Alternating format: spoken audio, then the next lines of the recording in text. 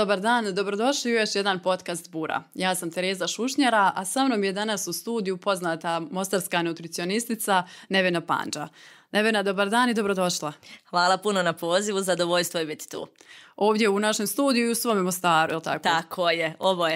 E, Nakon završenog studija u Zagrebu, vi ste se odlučili vratiti se ovamo. Tako je. I tad je malo tek na početku bilo uopće šta je to nutricionizam. Evo, s kakvim pitanjima ste se susretali? Pa da, nutricionizam kao jedna mlada znanost, da tako kažem, puno je pitanja postavljala i puno upitnika iznad glave.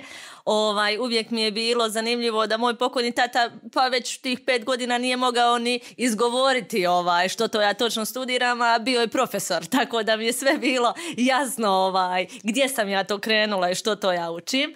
Međutim, kada sam se vratila, e, dva pitanja najčešća su bila koji sam tečaj završila i koliko je dugo trajao, a drugi zašto sam se uopće vratila, jer što to nije u redu sa mnom, pa sam se iz Zagreba kao jedna od rijetkih hercegovki ovaj, vratila u, u Mostar. Uh, nisam se pokajala, zaista, smatram da je to bila riskantna odluka, sa par ponuda za posao ovaj, u Zagrebu, vratiti se u Mostar, u Herce- Hercegovinu, kada je to 2015. još bilo nešto totalno novo, kada nismo imali priliku otići na savjetovanje kod nutricioniste, kad nismo znali uopće što to znači, što taj nutricionista uopće radi, što nam savjetuje, na kraju krajeva, pa svi mi znamo jesti. Jel tako? Naravno, svi znamo jest, svi znamo sve što, šta, zašto služi nutricionista uopće. Da. Uh, nutricionista ima tu, pa mogu reći, uh, jednu širu sliku djelovanja ovaj, na, na ljudski organizam, ali i na ljudsku psihologiju. Uh, zašto to kažem? Zato što nije naš posao samo napraviti plan prehrane ili s druge strane reći vam što trebate jesti ili ne. Mi zaista uzmemo vrijeme da porazgovaramo s vama, da analiziramo vašu prehranu, prehrambene navike, uh, da vidimo što to zapravo u prehranu treba kod vas uključiti, a ne nužno isključiti ove određene stavke na koje smo svi navikli da možda nisu tako dobre ovaj, za svakodnevnu primjenu. I uh, kroz analizu prehrane, kroz preporuke, kroz smjernice, tada se zapravo kreira ili određeni prijedlozi za obroke, primjeri dnevnih jelovnika, tjednih jelovnika i onda bismo vas trebali malo pratiti. Međutim, rijetko tko dođe na kontrolu. Da li radi neke osobne svoje ovaj, a, a, brige, da li su napravili dobar zadatak, da li su dobro to napravili. Ovaj, imam i predivne klijente ovaj, pacijente koji su redovni u tome, ali drugi, pa kako da kažem, budući da ja, ja budem u pizzeriji ili u slastičanoj, često okrenu malo glavu ovaj, da nisu tu, ali ih ja zaista volim a, a, sresti i to je dio našeg života svakako. To tako mora biti onako, evo, i ona je tu, sad smijem i ja. Tako je, pa tako bi to trebalo biti. To je balans, to je svakodnevan ovaj, život, to je nešto što ja učim sebe, učim druge i na kraju krajeva propagiram. Evo, od 2015. do sad skoro je 10 godina prošlo. Mhm. E, jel se što promijenilo u tom pristupu, taj nutricionist samo na meni kaže šta ću jesti, jel? Pa, kroz moje iskustvo mogu reći da se svijest povećala. Imamo mi još uvijek, ja znam što ću jest, ja evo, ne znam što sam tu, ali tu sam, ne mogu sam ili sama. Ali vidim da se svijest uh, uh, o hrani, o želji za učenjem, želji za pripremom ovaj hrane, uh, povećala želja da prehrambene navike naše budu uh, bolje u skladu možda sa mediteranskim načinom koji se smatra jednim zlatnim standardom prehrane, jer ne smijemo zaboraviti da je Bosna i Hercegovina mediteranska zemlja, a ne nužno kontinentalna sa cijelom tom težom i teže probavljivom hranom. Zbog toga uh, sretna sam, zadovoljna sam, m, bit ću iskrena, mislim da imamo još jako puno posla i kažem, upravo kako u odabiru hrane, u kreiranju obroka, ali u samom tom našem odnosu prema hrani. Jer hrana nam je danas jako dostupna, jako brzo dolazi na naš kućni prag. Samo jednim klikom mislim da tu se možemo ovaj dodatno educirati. Do odnosa s hranom ćemo još doći, samo Pošteno. još ovaj, da riješimo ovaj put od ovih deset godina, evo skoro deset. Uh, ovdje baš, evo kako ste već istaknuli, i zapravo i još uvijek nutricionizam je jako teško za izgovoriti. Jeste, jeste. A osim toga malo se, dijel, malo se čini previše novim, iako je već, evo Mhm. svima nama i poznato i šta je i šta radi, na koji način se provodi analize donekle, jel znamo. Mhm. Uh, nije baš bilo nekih poslovnih prilika kako sam mogla ovo Da. istražiti, tako da ste se vi odlučili započeti sam svoj projekt Mhm. Nutricioniziraj se. Tako je. I ovaj, vidite kako ste to dobro izgovorili. Govorili su Potrudila mi- sam se. Pa hvala vam. Govorili su mi da mijenjam to ime, ali nisam htjela. To je neki dio moje identifikacije. Ovaj, sama ideja za nutricioniziraj se je došla iz nemogućnosti da nađem neki konkretan posao jer nije bilo natječaja ovaj, na koji bi se prijavila. I onda sam rekla u redu, moramo prvo educirati tržište da bismo možda imali neki odgovor i želju za savjetovanjem i za suradnjom. Tako da sam ja prvo počela raditi u jednoj trgovini koja imala određene namirnice, sjemenke, voće, povrće i slično i ok, tu ću upoznat ljude koje to zanima. A projekt Nutricioniziraj se je krenuo uh, najprije iz želje da pružim edukativne informacije uh, ljudima oko sebe koje bi to zanimalo ili neko ko, ko, ko bi zapravo uživao u tome, a drugi uh, uh, segment je bio u redu, ajmo vidjeti kako možemo uživati u hrani, kako možemo pripremati hranu, da hrana nije crno-bijela, je li zdrava, nezdrava, dozvoljena, zabranjena, nego da možemo se nutricionizirati danas i raštikom, ali i picom, kako pod tim uvjetima to sve posložiti. Tako da ta moja ljubav traje uh, skoro 10 godina, projekt Nutricioniziraj se mi je donio odlične suradnje, odlične ljude u moj život. Um, počela sam surađivati sa poliklinikama jer sam im poslala mailove i rekla vidite, morate biti u rangu sa regionalnim centrima, imate nutricionistu, ja, ja ne bih rekla, vama treba nutricionista. I Poslala sam mailove kad se mailovi ne šalju, jel, u 9 sati na večer, možda čak četvrtkom ili petkom, ali od tog nekog dijela da hoću da napravim iskorak je zaista ovaj, bila velika motivacija. Tako da su me od tri maila ujutro čekala dva pozitivna odgovora i to su poliklinike s kojima surađujem i dan danas, a i ova treća se javila nakon 5-6 godina, ali javili su se oni meni, tako da dobro je, dobro je. Ja sad to u glavi zamišljam ovako, uh, poštovana poliklinika, nutricionizirajte se. Tako je, molim vas. Jes. Nemate nutricionistu, nutricionizirajte se, molim vas. Tako je. I jesu stvarno se nutricionizirali. Odlično i evo sad mi imamo priliku od nekog učiti Mhm. kroz nutricioniziraj se, ali moramo razjasniti i prenijeti uh, slušateljima, gledateljima uh, gdje ste se vi nutricionalizirali, Mhm. odnosno educirali na sve te uh, navedene teme. Da, moj put uh, je počeo sa studiranjem na prehrambenom biotehnološkom fakultetu u Zagrebu. To je studij nutricionizma od pet godina, nije tečaj. Ovaj, I imamo uh, uh, uz formalno obrazovanje jako puno opcija za neformalno obrazovanje. Tako da sam ja uvijek tražila i dodatne webinare, dodatne kongrese, nešto što bi me, jeli, uz tu moju edukaciju formalnu, držalo da vidim gdje ljudi iz prakse zapravo mogu pridonijeti mom stručnom usavršavanju.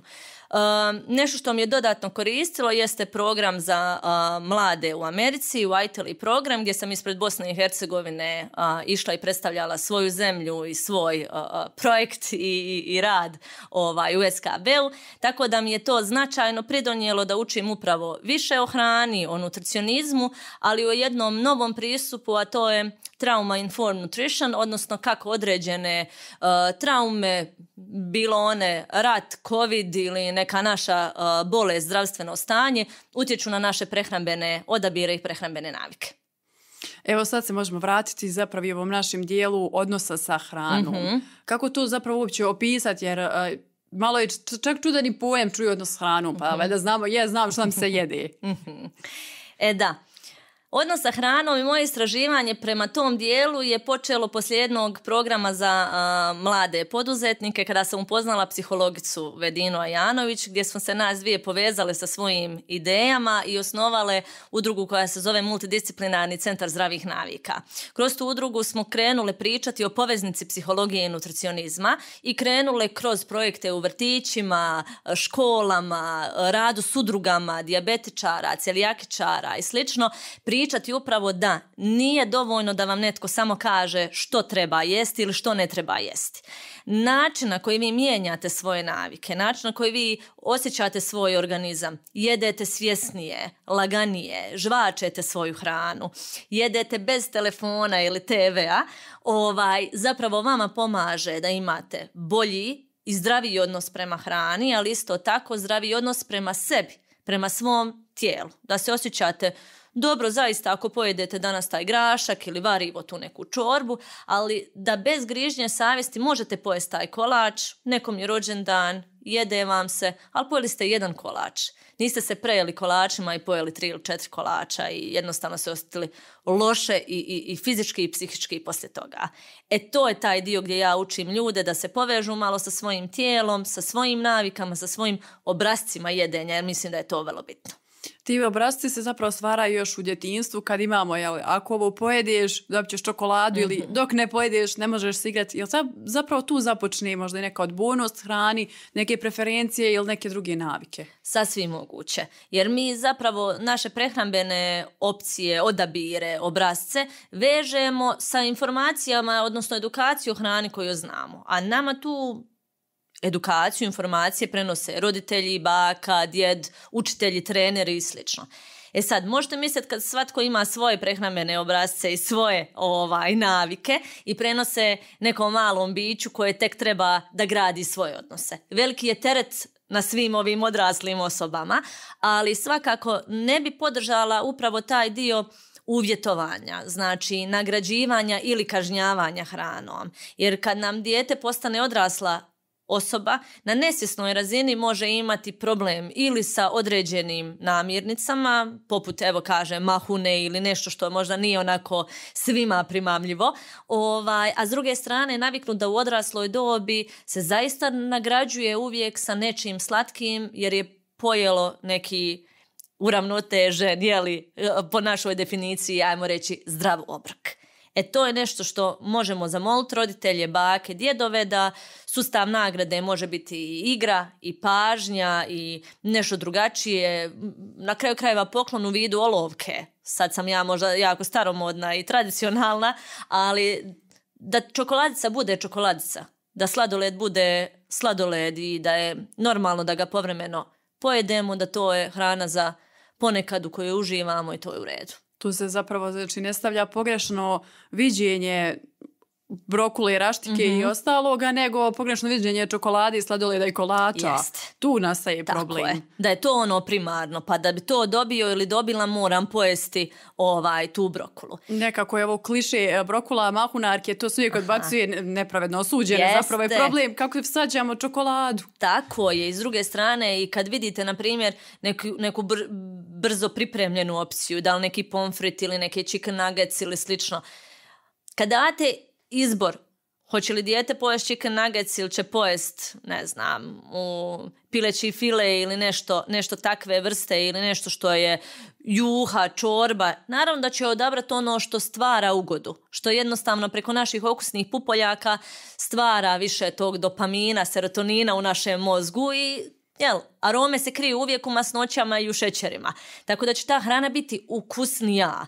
Ali ako damo, da tako kažem, neki izbor u vidu, u redu, koji ćeš prilog danas? Hoćeš pri- prilog neku carsku mješavinu ili ćeš zelenu salatu? Mislim da tu možemo uključiti dijete u te izbore. A da onda opet kažem, ta povremeno pojedena pizza ili burger ili nešto što je dio modernog društva, ne bude djetetu niti čudno, niti zabranjeno, ali da ne bude svakodnevno. A što se tiče sustava nagrađivanja ili zabranjivanja, je li iz tog izlazi i proizilazi e, emocionalno prejedanje? Znamo da dolazi i do čak malo gorih e, emocionalnih stanja, što dovodi, ne znam, ili eventualno do prejedanja ili u drugom dijelu do bulimije, anoreksije. Kroz rad i dodatnu edukaciju u dnevnoj bolnici hrana ovaj, u Zagrebu, koja je specijalizirana za poremećaje hranjenja, eh, tek vidim koliko je to vrh jednog ogromnog brijega i koliko određene, da tako kažem, naše a, psihološke karakteristike utječu upravo i na onaj naš odnos sa hranom ili nas mogu usmjeriti na poremećaje hranjenja.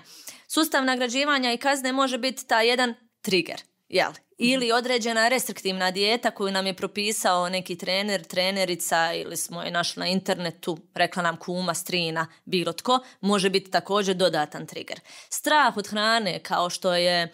Um, da tako kažem, monstruiziranje šećera ili ugljikohidrata može biti svojevrstan trigger. Ali ono što se svi možemo vratiti dva koraka unazad jeste da učimo razaznati tjelesnu i emocionalnu glad. Prejedanje emocionalno dolazi iz emocionalne gladi. E sad, da se prvo vratimo na ovu osnovnu. Tjelesna glad ima jasne simptome. Kruli želudac, crijeva se pokreću, gladni smo. I kad otvorimo poslije škole ili poslije posla onu šerpu pa bude kuhani kupus, kako da kaže, možda nismo najsretniji ikad, ali ćemo je pojest. Zato što smo tjelesno gladni. Jel, moramo zadovoljiti tu fiziološku potrebu. Međutim, emocionalna glad ona dolazi iz glave. Nečega smo gladni. Nismo nužno gladni hrane. Mi u emocionalnoj glad točno znamo što nam se jede, odnosno što to našem organizmu sada treba da nam umiri stres, umiri strah, sredi dosadu, da nam neku našu pažnju. I onda se postavlja pitanje šta to nas jede pa se mi emocionalno prejedamo. Ali kažem, to svaka osoba može postaviti pitanje i dati svojevrstan odgovor za sebe jedem ja, a ono jede mene. Jest. nešto, nas, nešto nas dobro jede čim smo, kažem, ovaj, ušli u taj obrazac. Međutim, ja volim nekad ljude skloniti kad mi kažu ja se emocionalno prejedam na večer. Ja kažem, dobro, ajmo vidjeti koliko ste puta danas sjeli i koliko ste hrane danas unijeli. Pa prvi put sam jela u četiri. Pa ja govorim, ja se bojim da mi vi više onda niste emocionalno gladni, nego da ste tjelesno gladni. Jer do četiri ste riješili djeci školu, obavili sve u, na svom poslu, trčali sa jednog mjesta na drugo. Vi niste svome tijelu dali gorivo za sve što ste, što ste ovaj, trebali uraditi taj dan. Tako da postoji velika mogućnost da zapravo niste unijeli svoje energetske potrebe. Što se dogodilo, jeste pregladnili i unosite puno više hrane i veću količinu hrane upravo zbog toga. Tako da to jest možda emocionalno, emocionalno prejedanje, ali zasnovano na nedovoljno broju obroka, na nedovoljno unosenoj hrani. Tu se opet moramo dotaknuti količine i vremena kad se mhm. jede i svih ostalih faktora, jer obično kad se priča o prehrani, najčešće se onako 90% razmišlja samo o tjelesnom izgledu, mhm. a ne o zdravlju i ne o svemu ostalom što nosi, jer određena hrana na večer ne da zaspat, ujutru nas ranije budi, budi nas gladni ili tako dalje. Da, istina istina, e, raspored hrane, opet kažem, svi prilagođavamo sebi. Prije je bilo pet puta jedemo na dan, pa kažu ljudi nemam vremena ili koliki bi bio da jedem pet puta dnevno, ako jedem danas jednom ili dva put pa imam više kilograma. Svi smo posebni, svi smo različiti, kao što smo različiti na van, različiti smo i unutra. Svi imamo svoju crijevnu mikrobiotu koja je drugačija kao naš otisak prsta. E sad, kad bismo malo razmišljali o našem probavnom sustavu, tako bismo mogli izabrati hranu koja nama više paše, pomoći joj kroz odabir namirnica, kroz suplemente i sl. Uh, ono što jest ostalo u znanosti, uh, u istinu svima nam poželjno, a to je da hranu ipak rasporedimo, barem kroz tri glavna obroka. A užinu da vidimo da li je potrebno da ako je razmak između dva obroka šest ili sedam sati, da vidite u danu kada vama pada energija, kada vama pada šećer, kako mi kažemo. Kada bi vam ta možda voćna užina ili kombinacija voća i orašastih plodova pomogla da jel, dočekate da možete kući, da možete praviti ručak, praviti večeru ili slično. Nemamo više tradicionalnog ručka u tri sata. Živimo totalno drugačije živote nego naši roditelji, nego naše bake, djedovi i slično. Ali rasporediti sebi uh, unos hrane, da imamo neki mali obrok, doručak, zajutrak, prije tog posla ili prije škole, studiranja, ovisi uh, tko nas uh, gleda, da imamo u sredini dana ručak koji ćemo ponijeti sa sobom, ponijeti na posao, ponijeti između obaveza ili kupiti, otići nešto pojesti, imamo zaista opcija, a onda da nam taj treći obrok bude neki obrok kući, obrok koji pripremamo i to je u skladu, vjerujte mi, sa većinom država u svijetu. Voćnu užinu uvijek možemo nositi sa sobom ili neke orašaste plodove ili dok smo na sastanku popit sok od sjeđenog voća i povrća. Ne moramo nužno piti petu kavu ili piti sokove ili jednostavno davati nama energiju kroz slatkiše. Znači tu dođemo opet do jednog klasičnog zaključka, manje je viši. Tako je, raspored hrane pomaže našem probavnom sustavu da tu hranu probavi, pospremi, rascijepka. Imamo sve više probavnih smetnji, nadutosti ili otežane probave ili konstipacije radi prekomjernog, prekomjerne količine jednog obroka i prejedanja u jednom obroku. Jednostavno našem organizmu, ne znam, ja to uvijek opisujem kao mješalica. I mješalici moramo pomalo davati hrane i vode da bi to izašlo nekako kako treba. A mi se često jednom ili dva put toliko najedemo da ne možemo o sebi, da nam to uzrokuje određene probleme, da se ne osjećamo dobro, da budemo tromi poslije toga i kažemo to nam ne godi, ali je to možda navika koju smo jeli, zbog brzine života nažalost morali usvojiti. Da, tu dobijemo više obroka, ali sa istim namiricama i bez vode. Evo, kad smo spomenuli vodu, dok ćemo misliti da je u redu popit e, čaj ili pojesti juhu i da je to isto unos tekućine koji vode. pa pridonosi ukupnom unosu tekućine, ali jedino voda zapravo može ući u stanicu, očistiti je, jeli, e, izbaciti ono što ne treba, na kraju krajeva pomoć uh, detok sustavima našeg organizma da rade kako treba. Kao nutricionisticu poslije Božića, Uskrsa, svih blagdana, Bajrama, bilo što, zovu i kažu, e, mi se prejeli, što sad? Koji to detoks meni i detoks muti treba? E. Sad ćemo malo voditi tako simbolično. Živjeli. Može. Ovaj, ja kažem, nema detoks mutija, detoks soka koji će riješiti sve što ste ovaj, radili. Detoks se radi tijekom cijele godine, a to znači podržavati vaše organe, kao što je jetra, naš laboratorij organizma, bubrezi, probava, koža, znači sve su to određeni detoks sustavi našeg organizma. Da bismo mi njima pomogli, treba im voda koja ih pokreće, koja radi, izmokravamo, izbacujemo što ne treba. Međutim, treba imati i obilje voća i povrća koji svojim antioksidansima, svojim nutrijentima, vitaminima, mineralima pomažu upravo to jetri bubrezima da rade. Jetra voli gorkasto povrće, znači rikola, prokulice, zeleno povrće, raštika, blitva, to sve sve i kako pomaže. Međutim, ako nema ovog prvog dijela, a to je voda, kako možemo očekivati svakodnevno praženje crijeva, kako možemo očekivati čvrste nokte, e, zdravu kožu, zdravu probavu, zdrav organizam generalno. Zato što voda je toliko zadužena za metaboličke funkcije, mogu reći skoro pa svaku. E sad, svatko od nas ima svoje osobne potrebe za unosom vode i tekućine. Znači, 30 do 35 ml vode bi trebalo nama po jednom kilogramu tjelesne mase. Znači, osobi od 70 kg okvirno bi trebalo najmanje 2,1 litar tog unosa tekućine od čega primarno bude voda može nezaslađeni čaj pomoći, može pomoći neka nezaslađena limunada, pridonosi i juha, pridonosi i krastavac i lubenica i dinja jer sadržavaju 80-90% vode u svom sastavu, ali opet kažem, sok, kava kao diuretik, zeleni čaj kao diuretik, oni pomažu da se taj dio višak tekućine i vode izbaci iz organizma. Znači, naša mostarska hercegovačka čaša vode uz kavu ima smisla, tako da nemojte da ostaje, morate je popiti. I što se tiče kave, baš je nekako mostarska kava jasna, pije se dva sata i pije se nekoliko. imamo baš tako tu našu kulturu da se svaki dan pije kava, ali uh, srećujemo različite mišljenja mm ovaj, stručnjaka, od onih koji smatraju da, se, da je kava štetna, do onih mhm. koji nam govore pa pijte kavu svaki dan. mm šta nam vi kažete za kavu? E, kava.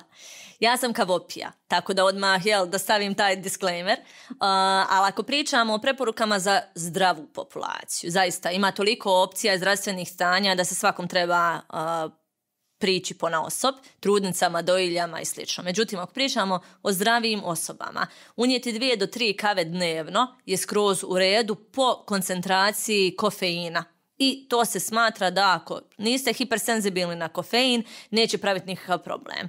Benefiti kod kave jesu takvi da kava obična, bilo da je neka domaća koju pravimo ili espresso, filter kava, ona je puna antioksidanasa. I ako vama ona služi kao određeni stimulator, kao određeno buđenje, ona ima svoj učinak. Ja osobno ne preporučujem kavu na prazan želudac, zato što kava ipak malo potakne lučenje želučane kiseline i osobe koje imaju imalo problema sa gastritisom, sa probavnim smetnjama, to im može praviti dodatan problem. Uzeti pet badema ili neki integralni kreker ili dvije žlice grčkog jogurta sa malo borovnica je dovoljan zajutrak da bi organizam dobio svoj temelj i da bi ta kava također onda mogla nastaviti raditi svoj posao. Međutim, što nam pravi problem kod te naše kave? Danas ljudi smatraju kavom i određene napitke, koji su topli, koji su na bazi kave, ali imaju jako puno šećera, imaju dodataka u sebi. Drugo, imam jako puno ljudi oko sebe koji na jedan espresso, kratki, stavljaju dva do tri šećera. E sad, ako piju tri kave dnevno sa po dva ili tri šećera, to je jednostavno previše dodanog šećera u danu. Mi dozvoljavamo određeni udio dodanog šećera kroz dan. Bilo kroz dodani šećer, kroz slatkiš. Ali ako ste mi vi danas unijeli devet šećera, pa ćete još popiti nešto od soka nekog, pa ćete pojesti nešto slatko, bojim se da je to ipak previše i dodanog šećera ovaj, na razini dana. Treća stvar je mlijeko, vrhnje i ostalo što dodatno kavi koja generalno ima jednu do dvije kalorije po ovaj, šalici, donosi i doprinosi veći kalorijski unosi, kažem, možda samo da sračunamo koliko nam je to u dan. I sad, ja radim treniranje smanjenja šećera. Ne možemo ići sa tri šećera na nula. Ne ide. Ljudi će vam, vjerujte, radije prestati pit kavu nego to smanjiti na taj način. Ali lagano, privikavanje upravo tih okusnih pupoljaka koji budu i naviknuti na tako sladak napitak ili na primjer kod pušača još uvjetovani sa, sa malo nižim ovaj, signalom ovaj, tog osjećaja za šećer, slatko, neslatko, zbog nikotina i sl. Tako da samo polako osvijestite da možemo lagano mijenjati. Kava je dozvoljena, tu je najvažnije, kava nije Vidim štetna. da ste izvukli zaključak koji vam je važan, tako, tako je. ja sam kavopije i ja volim, dakle, za kavu se ne trebam sikirati, ali me zanima, evo spomenuli smo šećere, malo bi ste spomenjali nezasićeni, nezaslađeni limunade. Imam osjećaj da su svišave sitnice pravi problem. Dakle, limunada je super, ali onda je malo ostavimo šećera pa dobijemo nešto što nije zdravo, mm iako mislimo da pijemo mhm. zdravo. E, dodavanje e, šećera u čajeve, evo u limunadu, u mhm. kavu, dodavanje mlijeka, ubacivanje čokolada u ne znam, s voćem i tako dalje. Jel nas zapravo tu malo zezne, malo mhm. uništava, dovodi do povećanja tjelesne mase i nekako do e, kvari funkcije zapravo probavnog sustava. Vidite, teško je pričati generalno o tom dijelu. Možda jest, možda nije. Sve zapravo ovisi o vašoj kompletnoj prehrani. I to ljudi najviše ne vole, što ja ne dajem konkretne ovaj stvari, nego vraćam na promišljanje, vraćam na ono što nutricionisti rade, a to je analiza naše ukupne prehrane. I to Tereza ne samo na, na razini jednog dana, nego na razini tjedna, mjeseca, tri mjeseca, koliko smo mi uspjeli uključiti nekih dobrih stvari. Na isti vam način se svede taj dodani šećer. Znači, dodat žličicu meda u limunadu Med je zaslađivač i ima jako puno u sebi glukoze, fruktoze i slično, ali će vam dati još neke dodatne polifenole koji su dokazano dobri za naš imunitet. Ili ne znam, agavin sirup ili nešto što nam, osim tog rafiniranog šećera, on nam zaista ne daje ništa. I smeđi šećer daje nešto malo minerala, ali on je šećer. Znači staviš žličicu meda u limunadu, Zasladili smo je, ali smo je obogatili nekim našim lokalnim proizvodom. E, ja sam uvijek za lokalne proizvode i mislim da je to važno. Ili, na primjer, što ste me pitali za čokoladu. Servirat sebi užinu. Na razini da stavite jednu zatvorenu šaku orašastih plodova, jednu narezanu sezonsku voćku, breskvu, dvije marelce ili slično i stavite red tamne čokolade koja prirodno po sebi ima više kaka, više antioksidanasa, a tehnološki malo dodanog šećera vama može stvoriti jako lijepu užinu koju ćete uživati. E sad, jedite polako, osjetite, jedite svjesnije, grickajte te bademe, pustite tu čokoladu možda da se malo otopi u ustima, prije nego što je sažvačemo i progutamo i više ne znamo koliko smo pojeli. Ali naš odgovor da mi prvo vidimo što smo servirali znači puno. I da je to i dozvoljeno da pojedete. Razumijete? I to traje. To traje 5-10 minuta, uživate, uzeli ste pauzu na poslu, doma, ali takva užina će vam dati zaista nešto konkretno. Daće vam nutrijente, daće vam uživanje. Na kraju krajeva i da bude red mliječne čokolade, opet je ovaj nešto što vam daje i ugodu i nutrijente. Tu se baš vidi razlika među uh, pravilne prehrane i dijeti. Znači, mm dijeta je nekako ograničena, kratka, ima efekta, nema efekta, dok je pravilna prehrana malo duža, i mora se uzmati, evo kako ste spomenuli, u obzir jedem popodne, ali ovisno ono što sam jela ujutru. I ovisi će mi večera od onog što sam dočkovala i ručala. uh Nekako je sve u, u, toj svezi plus na to san. Tako je.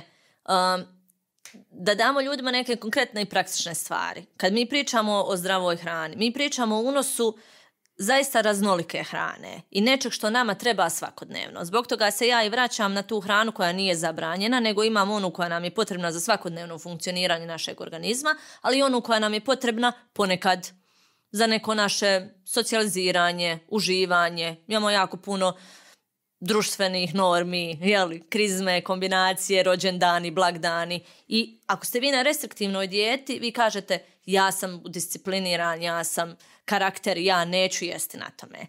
Jel to Tereza dugoročno održivo i realan život? Nije. E, kako naći model koji nam paše, da objedinjuje oboje? Znači, uključivati mediteransku prehranu na način koja ne zabranjuje ništa, Znači ima i desert i sladoled, ima i čašu vina tko voli popiti, čašu piva. Umjerenost je ključ. Ali ona kaže, svakodnevno unesite barem dvije porcije povrća. Porcija povrća je otprilike kao naša dva dlana. Unesite više grahorica umjesto crvenog mesa ili dajte prednost fermentiranim mliječnim proizvodima poput jogurta, kefira, mladog sira u odnosu na prerađene sireve sa puno masnoća ili voćne jogurte i ostalo. Uključite meso peradi, a neka crveno meso bude jednom do dva put tjedno jer i ribu negdje trebamo staviti. Što kažete imamo u tjednu sedam dana. Kad rasporedimo ručak, neke riba ili neko nemjesno jelo jednom dva put tjedno, neki rižoto s povrćem i slično, neka imamo meso peradi dva puta, crveno meso jednom dva put, dva put čorbe, mi smo napravili tjedni jelovnik naših glavnih obroka. Pritom ta čorba variva može biti čak i za dva dana. I onda smo i to očekirali. To je e, jedna odlična kombinacija, ručak za dva dana. Evo, već, bravo, već sad ima neki raspored za tjedan dana. Naravno. Kad pričamo o doručku, jedno jutro će nam se zaista možda jesti ta neka zobena kaša ili neki jogurt sa uh, musli žitaricama bez dodataka, pa ćemo mi narezati sezonsko voće ili staviti borovnice, staviti malo sjemenki. Drugo jutro ćemo se probuditi, zaista nam se ne jede taj hladan doručak sa puno žvakanja, možda bismo radije tostirali ovaj, šnitu kruha od jučer koji je po mogućnosti raženi ili heldin sa malo više vlakana ovaj, i stavili možda ili sirni namaz ili svježi neki sir, mladi sir, pureću šunku, skuhali jedno jaje, narezali krastavac i više smo raspoloženi to jutro za taj slani doručak. Treće jutro kasnimo, žurimo, ne znamo šta ćemo, smuti od bobičastog voća, sjemenki, jogurta ili neke biljne zamjene za mlijeko može biti nutritivno hranjiv obrok koji u autu možemo se pripremiti za obaveze i usput i slično. I onda kombiniramo. Znači nije dobro ni svaki dan jesti isto da je to najzdraviji i najbolje izbalansiran obrok. Ključ jeste u raznolikosti. I onda kad si postavimo neke jednostavne zadatke da ponesemo danas jabuku na posao ili te bademe imamo uvijek u svojoj torbi ili u autu, vodu nosimo u sebe, mi smo već tri, mogu reći, savjeta koja utječu na poboljšanje našeg zdravlja usvojili. I to je velika stvar. Pritom znači bazirati se na uključivanje ovih namirnica, a ne samo na isključivanje slatkiša, grickalica, alkohola, sokova, kave. Jer bojim se da onda osim što smanjujemo energiju, smanjujemo i nutrijente, jer mi ništa niste dali na ovom drugom dijelu tanjura. Da, obično se gleda na ono šta bi mogla izbaciti, a ne šta bi se moglo uvesti. Tako je. Evo što se tiče savjeta, ponijeti jabuku na posao, savjet je i pojesti je na poslu, a ne vratiti je kući tako je. i nositi je dva, tri dana na posao, tako tamo ovamo. Uh, evo što se tiče naših prehrambenih navika ovdje u Bosni i Hercegovini uh ćemo pričat. Um, što se tiče brze hrane i dostave, mi to tek imamo, ili da je popularizirano tek zadnjih godina. Uh, zapravo smo svi odrasli uz kuhanu hranu, uz neke namirnice koje su lokalne, sve ove namirnice koje ste sad naveli su nama dostupne uh ovdje, mada se sad evo malo mijenja. Kako biste vi prokomentirali naše prehrambene navike? Evo mogu i komentirati s tog dijela iskustva i razgovora ovaj, s ljudima. Generalno se ljudi zaista trude i pripremat hranu i više to nema, žena priprema, svi pripremaju i to mi je stvarno predivno i važno. Potiče mi djeca da, da, da tko god ima djecu da ih uključuje u skladu sa godinama. Znači, svi se brinemo oko tog dijela. Mogu reći da je hrana e, raznolika, da ljudi pa i svoje vrijeme i novac ulažu u hranu. Međutim, mm, malo je povrća i voća u odnosu na suhomesnate proizvode, na meso. Meso nam je iznimno važno. Manje je žitarica poput ječma, geršla, heljde ili na primjer prosa u odnosu na krumpir, na tjesteninu, na rižu. Znači ljudi često vrte uvijek iste kombinacije namirnica. Piletina riža, salata, nedeljom, pečeno meso, teletina sa krompirom, juha. E, samo da uvedemo možda neki začin, samo da uvedemo možda neko drugo povrće, da u taj rižot izrendamo jednu tikvicu, da damo, da obogatimo ili taj naš japrak ili to naše meso ili da s druge strane napravimo neki drugačiji prilog, mislim da bi tu mogli puno, puno napraviti. Kupuje se u supermarketima jako puno tih namirnica za goste. Svi imamo u balkanskoj kući ladicu ili policu gdje ide još jedan keks, još jedan čips, još nešto slatko, sokovi da ako gosti dođu. Kad su nam bili gosti zadnji put, prva stvar, druga stvar, je li mi šta falilo što smo mi imali doma, što smo iznijeli, što smo pripremili, a i sami znamo da ako nam se gosti najave da se opet ide u trgovinu i kupuje se nešto I ovaj, za taj stvar, dio. ko nije pojeo nekad tu nešto za goste, to je puno slađije. Vraćamo se na onu emocionalnu glad. Jer znamo da je to... zato što je, ajmo reći, zabranjeno ili mhm. određeno za nešto drugo, odmah je slađije. Tako je. I draži ne izlazi iz glavi. E, e, i taj put koji mi svi u trgovinama u kojima kupujemo hranu imamo, jeli? Pa možda da samo vidimo u redu, ajmo kupiti malo više voća ili malo više orašastih plodova ili nešto, obične kokice koje možemo napraviti kućnoj radinosti u jednoj šerpi, rasporediti to ukućanima ovaj, da, da dobijemo nešto konkretno. Da smanjimo čak i potrošnju budžeta na hranu koja je za ponekad, jer bolje je otići prošetati pojest sladoled ili otići pojest kolač ili napraviti kolač i da cijela obitelj uživa u tome, nego da nužno kupujemo namirnice koje su za ponekad, a svakodnevno ih imamo u kući jer smo u začaranom krugu, kažem, i potrebe i samim tim grižnje savjesti. Ja vam se malo čini to, e, neću sad reći baš status, ali nekako se ili pohvalim, ali važno je šta će se iznijeti, kome će mhm. iznijeti, koliko je bilo. Evo što zamislite sad je neko sjelo, neko iznese bademe i kiwi i mi bi se svi vjerojatno hvatali za glavu. Jer nam je ostalo da se zna kako ide meza, sir, pečence mhm. i ostalo. Tako je. Ja nemam ništa protiv meze. Zaista, čak volim se družiti, volim i popiti čašu vina i zameziti slično, ali na tu mezu se može staviti oraha maslina, čeri rajčica, izrezat krastavce, jer i mi odrasli smo kao djeca.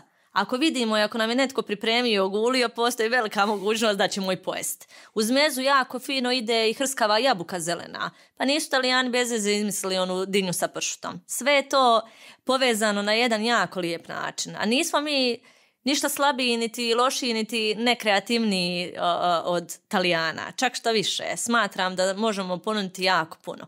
Samo je bit, kažem, kako tome pristupiti, koliko smo kreativni. Zato sam ja na svoju božićnu leftovers večeru sa svojim prijateljima odlučila biti ona koja donosi salate. Jer salata nikad nije bilo. Ne kao ja nešto nutricionistički, jer ja ću probati kiflicu i peksimet i uživati u svoj toj ovaj, hrani. Ali jednostavno nakon tri dana obroka, nakon sedam vrsta kolača za koji stvarno nema potrebe, shvatila sam da se upravo te moje salate prve pojedu. Jedna je sa pečenim paprikama, sa feta sirom, druga je sa kruška, rikola, limanski sir, razumijete? Nisu te salate samo zelena salata, da se razumijemo. Ali unose vlakna, unose neke masnoće, unose određene vitamine i minerale i mislim da svatko od nas može napraviti tu malu promjenu. To je obično, tako kad su neka slavlja tri dana, evo, oko, to, oko blagdana, već smo svi zasićeni te iste hrane i mhm. ne traži nam je se više, ali mi sve jedno. Jest, jer tu imamo te ideje, čak salata kao obrok i nije baš nešto popularno. Obično se salatom smatra paradajz krastavci, mm eventualno uh, zelena salata. Tako je, ali može biti jako dobar taj obrok salata. Vjerujem da mhm. može, ali me zanima, uh, isto kao sa kavom imamo takav pristup sa kruhom. Kruh se mora uvijek jesti uz sve. I uglavnom je to samo bijeli pšenični kruh jel? Tako je. Ja se mora zaista jest kruh, da objasnim odmah roditeljima. ne mora se jest kruh. Ali hoću da opet kažem da ne bude ni svjetlo na kruhu. Kruh kao kruh ne deblja. Jer svi kao mhm. deblja me kruh. Kruh kao kruh ne deblja, kruh vam daje kalorije kao i bilo koja druga hrana. Međutim, problem bude ako pola kruha pojedemo, umačući u tu salatu. E tad je zapravo količina kruha koju smo pojeli problematična. Drugo, kruh uz određene namirnice nije nužno jesti. Osim ako niste sportaš pa vam treba 3,5 tisuće kalorija dnevno jer imate dva treninga i jednostavno ne možete unijeti ovaj, kroz jedan izbalansirani obrok sve što vam je potrebno. Ako zamišljamo naš obrok, imamo šemu zdravog tanjura. Bilo bi dobro da barem polovina tanjura ili trećina tanjura bude povrće. Druga trećina ide na račun izvora proteina, otprilike neka šnicla ili file ribe ili jaja, mladi, sir i sl. Treća trećina bi nam trebala dati izvore ugljikohidrata. E sad, izvori ugljikohidrata dolaze ili iz kruha, iz riže, iz tjestenine, iz krumpira, batata, sve što je škrobno i sve što nam daje taj brzi izvor energije. Zato ja ne bih osudila naš kruh nego uz što sve mi taj kruh jedemo. Tako da jest kruh uz rižu ili krumpir je jednako kao jest kruh uz pitu ili picu. Jer nam daje u konceptu slične te izvore nutrijenata. Opet za početak moram reći da kruh nije tu samo izvor nutrijenata ili izvor ugljikohidrata. Kruh nas umiruje, miris kruha veže nas na dom, miris domaćeg kruha nam budi ugodu, dokazano. Za početak možda krišku kruha ostaviti za kraj obroka. Znači, ako vam je potrebno da osjetite sitost sa kruhom, ostavite za kraj obroka nakon što pojedete i osjetite i tu tjesteninu, i rižu, i povrće, i meso, ribu, bilo što. Niko vam ne zabranjuje, točno imam citat jednog klijenta koji mi je rekao, točno kad ste mi napisali u planu prehrane da mogu jest kruh, meni se ne jede. Znači, to je nešto prvo izbacujemo a to je nešto nas vjerojatno veže za djetinstvo, za kuću, za sitost na kraju krajeva. Jel? I upravo taj trauma informed nutrition može se gledati i kroz tu prizmu. Pa vjerojatno je se prenijelo kroz ono moraš iz kruh, šta ćete držati, ne možeš se mhm. najesti bez kruha. Da. kruh se jako puno veže realno i sa religijom, sa vjerom. mm Vjerojatno iz istog razloga se onako posebno kruh posmatra i od njemu se drugačije mm govori, drugačije se i sprema i priprema i ostavlja, uvijek mora biti nekako posebno. Vjerojatno je i, to doprinjelo tome da mi baš uz sve moramo jest kruh. Moguće, ali i, sa kruhom možemo malo um, eksperimentirati. Zato kažem, ok, pšenični kruh, kukuruzni kruh, on su ukusniji možda nego raženi ili heldin kruh. Ili kad pravimo neki svoj domaći kruh, možemo ga obogatiti pa dodati šaku određenog integralnog brašna, dodati malo sjemenke da bismo zapravo tom kruhu povećali udio vlakana. Čim imamo veći udio vlakana, on nas duže drži sitim. Bijela kifla ili bijeli kruh sam po sebi će samo popuniti naš želudac i vrlo brzo se razgraditi, mi ćemo opet biti gladni.